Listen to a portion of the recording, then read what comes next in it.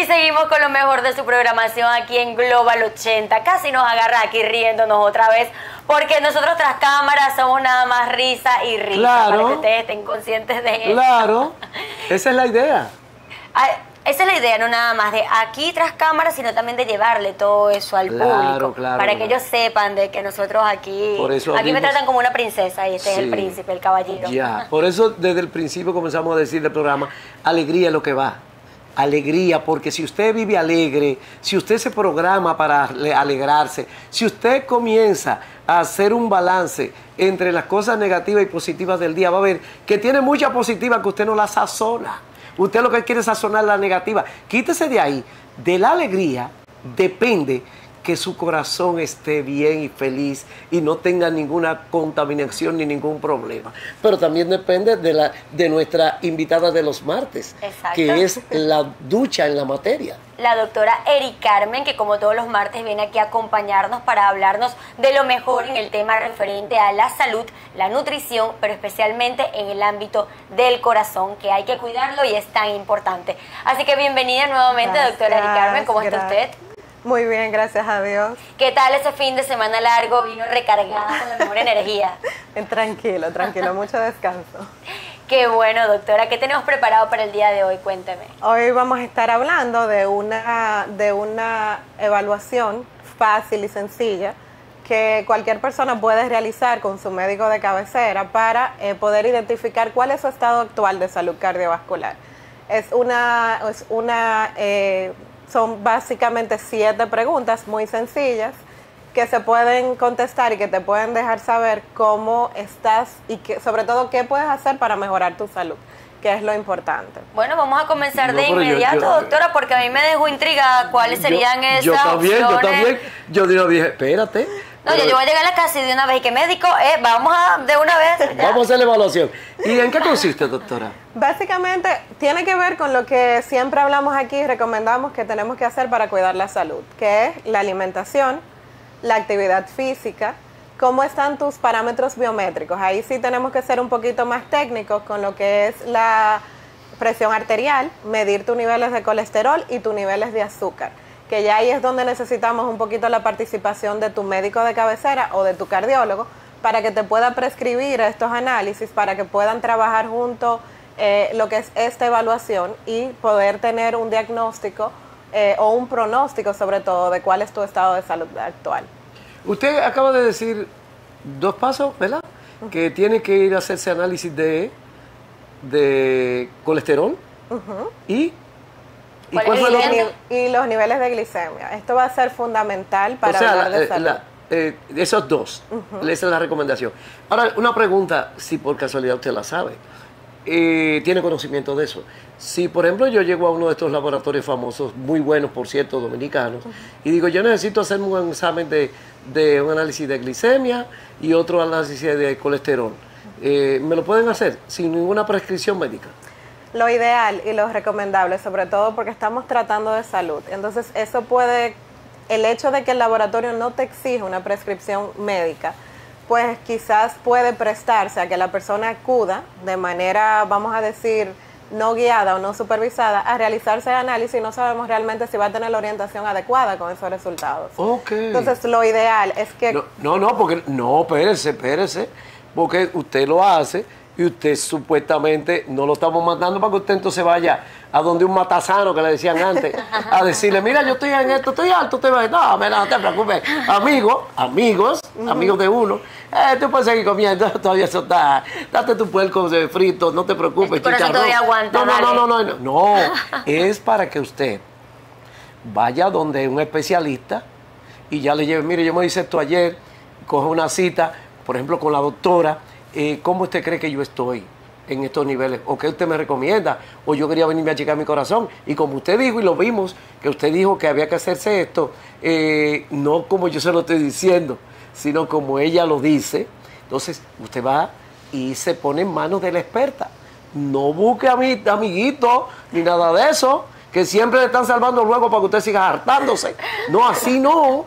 Bueno, continúe, doctora. Lo ideal es primero tener un chequeo médico ¿Por qué? Porque si te, si te das cuenta en estas siete preguntas, va, va a ser parte de lo que es un interrogatorio. Por ejemplo, tu médico va a evaluar cómo está tu alimentación con parámetros específicos. Por ejemplo, qué, tan, o sea, qué tanto consumes pescado, qué tanto consumes fibras, qué tanto porciones de vegetales o de fruta tú vas a, a ingerir a la semana, cómo anda tu consumo de azúcar a la semana. Entonces hay parámetros específicos que son los recomendados y de acuerdo a eso entonces es que vas a sacar una conclusión.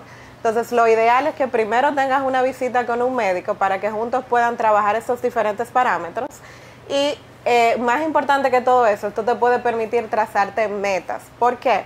Porque, por ejemplo, cuando hablamos de que estás en un nivel, prácticamente cada uno de estos parámetros te dan una puntuación de pobre, intermedia o buena salud. Entonces, si de repente es algo que yo trabajo mucho con los pacientes en la consulta, tú vienes donde mí y tu peso o quizás tu nivel extensional estaban fuera de rango y en, un, en una medición global, pues tu salud está intermedia, yo te puedo decir prácticamente, mira, para la próxima consulta yo necesito que trabajemos un poquito, que hagas más ejercicio para que la presión se pueda controlar y eso te puede permitir pasar desde un estado de salud intermedio a un estado de salud óptimo. Y eso es lo más importante que yo encuentro con este score, porque hay muchísimos scores que se deben aplicar, pero que son más técnicos. A mí me gusta mucho esto, se llama Life Simple 7, simple, los simples 7 de la vida, porque son parámetros que cualquier persona puede manejar. O sea, ¿qué tanto vamos a medir, por ejemplo, qué tantos minutos a la semana tú dedicas a hacer ejercicio? Y hay una diferencia. El que haces más de 150 minutos de ejercicio a la semana, pues eso es lo ideal. Entonces, si de repente tú me dices, bueno, estoy haciendo ejercicio 20 minutos dos veces a la semana, ya inmediatamente caes en un parámetro intermedio, pero ya tú sabes qué tienes que hacer. Y lo de los 150 minutos es fácil, doctora. Sí, Es caminar media hora a diario. exactamente. Ya, con eso usted resuelve. Usted camina media hora a diario, elija la hora que usted quiera. No le recomendamos cuando el tetero del sol, cuando esté el sol afuera calientísimo. No, no. no, no, no. Hágalo en la mañana o en la tarde cuando llegue. Hasta en la noche cuando llegue. Si está en una zona que, que le- que puede tener una cierta seguridad. Pero hágalo. Porque 150 minutos de caminata, de- eso es cardio, ¿verdad? Sí, es De ejercicio cardio. cardiovascular. eh, le va a garantizar a usted un mejor nivel de vida. Exactamente. Y entonces algo importante con relación al ejercicio es que cuando aplicamos esta escala, por ejemplo, de la diferencia va a estar en que haces cero, ya inmediatamente con un minuto de ejercicio que tú puedas comenzar a implementar, ya tu condición de salud cambia. O sea, de un minuto que comienzas a practicar hasta 149, ya caes dentro de lo que es una salud intermedia. Y lo importante de los hábitos, y sobre todo de los hábitos saludables, es que se van volviendo adictivos. Si de repente tú como persona puedes ver que simplemente hiciste un minuto, pues tú puedes ver, bueno, puedo hacer cinco. Sí. Y ya van a ir haciendo la diferencia y se va a hacer como pequeños pasos que te van a garantizar llegar a un nivel ideal. También, por ejemplo, el paciente que tiene una enfermedad cardiovascular. Hay una diferencia abismal entre el paciente que está todo el tiempo acostado o a ese paciente que de repente se puede poner unos zapatos de deporte y salir a caminar 10 minutos. Son dos pacientes completamente diferentes con pronóstico diferente. Y eso es la importancia de, ese, de este tipo de abordaje. Yo, yo acostumbro a caminar como una hora. Cuando tengo trabajo, pues obvio que me lo vuelo porque yo entonces voy a caminar eh, como, voy a correr como... Bueno, pero tú haces cardio, una básicamente, hora y media. tarima. Exacto. O sea. Entonces yo cambio eso por eso. Pero eh, uno se siente distinto, uno se siente diferente. Eh, yo siento que de una vez comienza a cambiar mi respiración en la noche al dormir. Sí, se acaba la roncadera. Sí, desde que uno comienza a darle espacio a los pulmones y a caminar y el cuerpo mismo tiene mejor sueño Totalmente. porque se el cuerpo se, se, se acuesta con deseos de descansar. No es lo mismo que viendo televisión y un moro recalentado a las 3 de la mañana. La doctora le encanta que yo le dé eso Sí, cuenta. a ella le Sí, sí, encanta, sí, porque sí, ella sí, se queda como que, ay, sí. si supieras que, ¿será que lo mato? ¿Será que...? No, no, ya yo- que hablando todo lo contrario, y él aquí con esto Yo tengo hábitos de calentamiento. Yo, ladrón juzga por su condición. Yo Doctor, una tengo- pregunta. ¿Bailar también cuenta como cardio? Claro que sí. Claro que ¿Tú sí. ves, ¿Tú ves por qué yo salgo a bailar? No, no, no, no. ¿Ya? ¿Tú? Claro que no, sí. bailar cuenta como cardio y como Claro, beneficio. claro. Tú sales a bailar por cardio, yo por beneficio. No, pero ya va, o sea, uno tiene su beneficio, uno baila y hace cardio, entonces hace ejercicio. Tú ves. Eso es bueno. Continúe, mi doctora. Pero hay un factor importante. Yo le digo, hay muchos pacientes que me dicen, no, yo no hago ningún tipo de ejercicio, pero tengo una vida, me muevo mucho en el trabajo. Entonces, hay, es importante en ese caso nosotros entender la relación cerebro-cuerpo.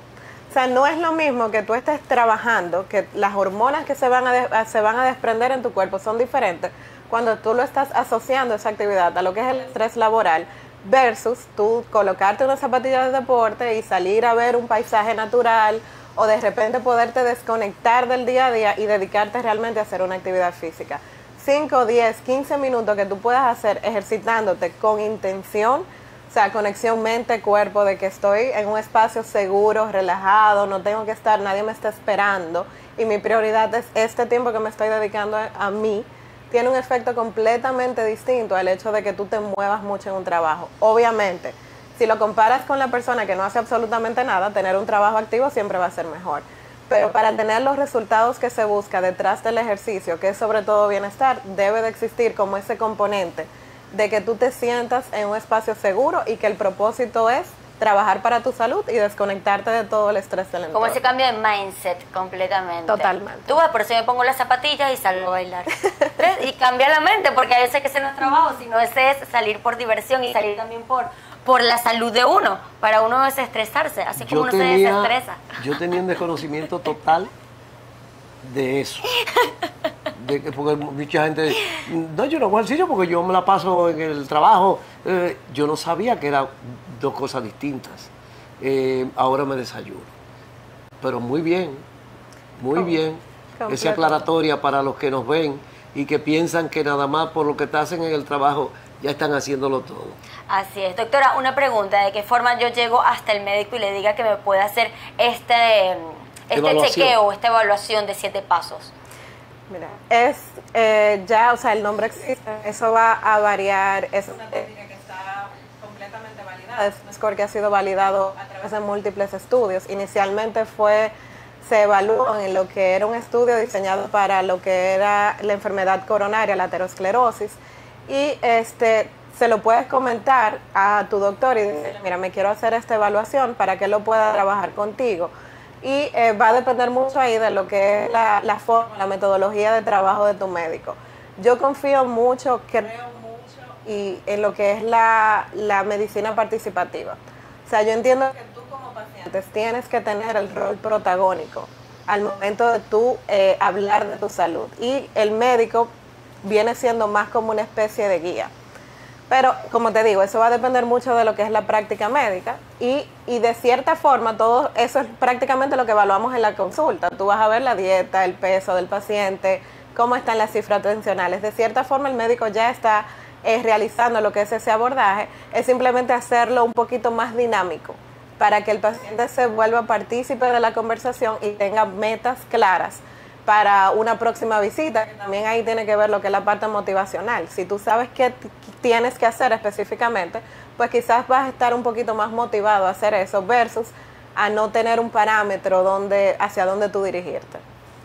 Bueno, así es. Yo, lo que la doctora no sabe es que cada vez que ella se va de aquí, yo llamo a mi médico de cabecera y comienzo a decirle todas las cosas que ella vino aquí a decir. ¿Verdad? Entonces, mira, yo necesito que tú me hagas tal prueba, yo necesito que tú me hagas tal cosa y así de esa manera yo poder estarme más tranquila porque ya yo confío en lo que dice aquí la doctora. No Entonces, cuando yo salga de aquí hoy, yo voy a llamar a mi médico de cabecera y le voy a decir, mira, yo necesito que tú me hagas esta prueba de los siete pasos. Porque así como ella también lo ha dicho, ya también a esta edad uno tiene también de que ponerse en cuidado de su médico, uno tiene que ir al, al cardiólogo y no importa si usted es joven o si usted es un poco más mayor, siempre estar pendiente de su salud.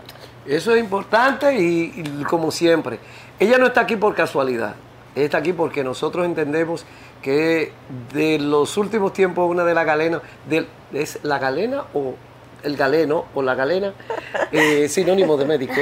Eh, eh, la doctora, eh, a mí me encanta con la con la profesionalidad que ella trata todo y que conoce de todo. Estábamos hablando de eso ahorita. Sí, hace rato Antes de que usted llegara, llegara, estábamos estábamos hablando hablando, de eso. estamos alabando sus enseñanzas que usted viene aquí a traer todos los martes. Qué bueno, qué bueno. ¿Y, ¿Y qué más tiene para nosotros y para nuestros telespectadores? Bueno, yo quisiera que ella también nos ampliara un poquito sobre esos siete pasos, o sea, cuáles son esos, eh, ¿cómo se dice? Como esto, estos chequeos, cuáles Sí. son los, los que se tienen que hacer en Sí. estos siete pasos para poder saber si tienes una buena salud cardiovascular.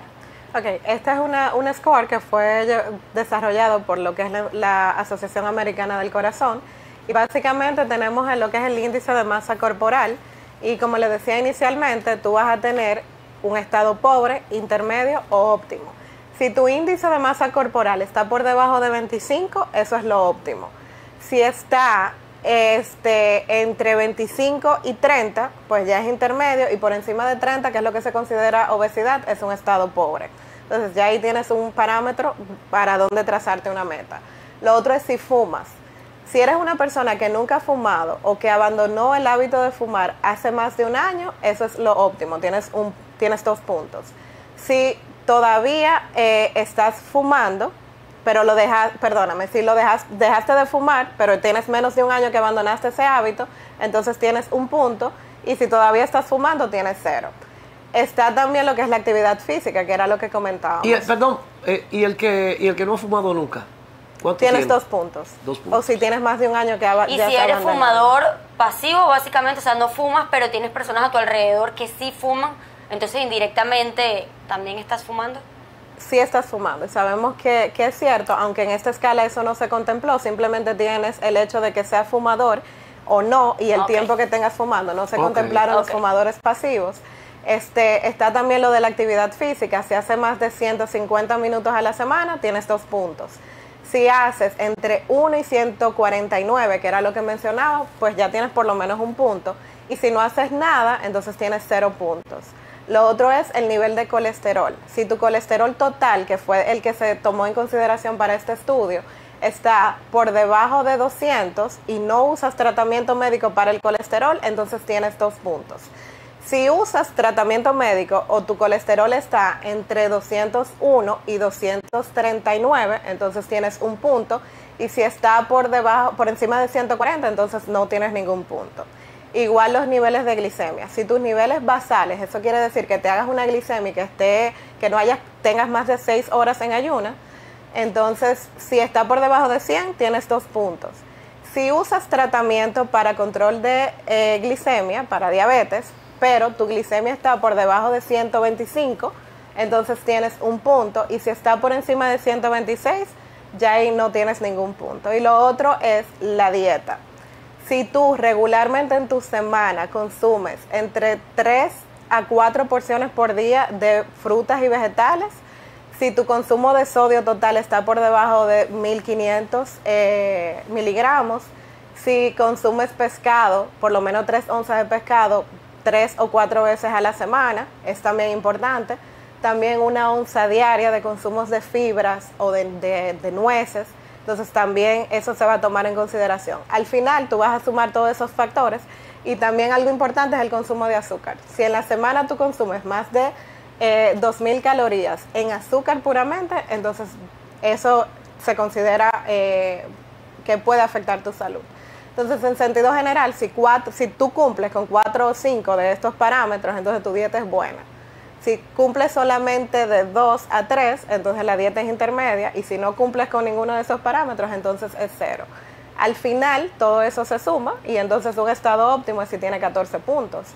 De 10 a 14. Intermedio es de 5 a 9 y pobre es por debajo de 5. Entonces, como puedes ver, hay cosas muy sencillas que tú puedes comenzar a implementar en tu día a día, que puede hacer un impacto positivo en tu nivel de salud. O sea que si está por debajo de 5, es muy probable que puedas tener algún tipo de enfermedad cardiovascular a largo plazo. Exactamente.